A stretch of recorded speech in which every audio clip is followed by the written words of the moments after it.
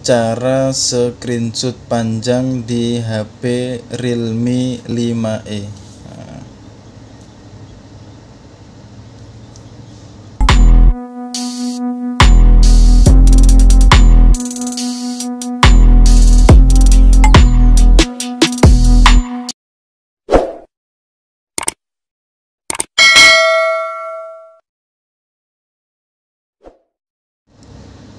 Selamat datang di channel Ali Tole.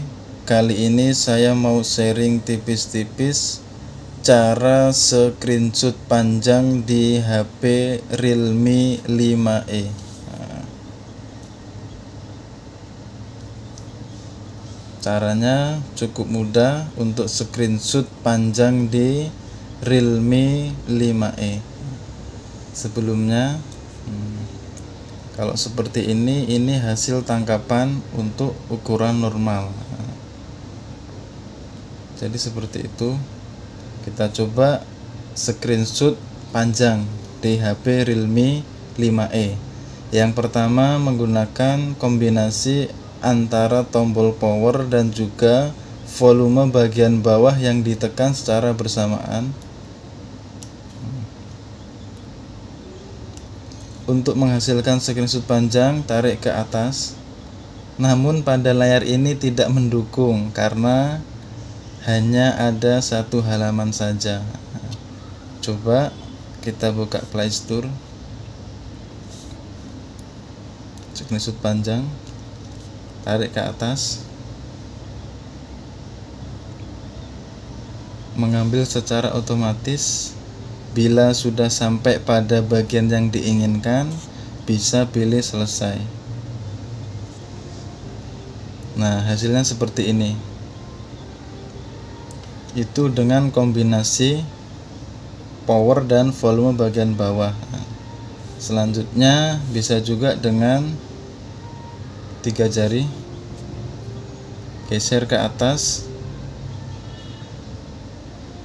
tekan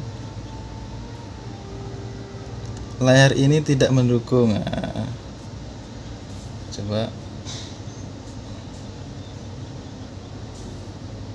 Cari Google. Menggunakan tiga jari ya.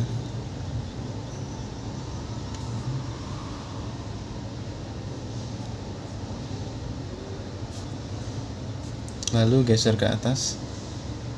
Nah seperti ini. Sedang mengambil otomatis Bila sudah sampai pada bagian yang diinginkan, pilih selesai. Nah, seperti ini. Bisa juga menggunakan smart bar. Kebetulan ada di bagian bawah pojok kiri.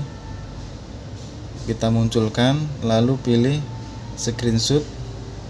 Setelah itu, tarik ke atas. Nah, layar digulir secara otomatis. Setelah sampai pada bagian yang diinginkan, pilih selesai. Nah, hasilnya seperti ini.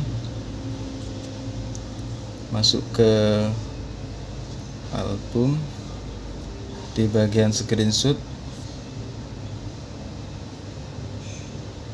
Ini ukuran normal, screenshot ukuran normal Nah, yang panjang seperti ini. Nah, sekian sharing tipis-tipis cara screenshot panjang di HP Realme 5e. Semoga bermanfaat. Jangan lupa like, komen, dan subscribe.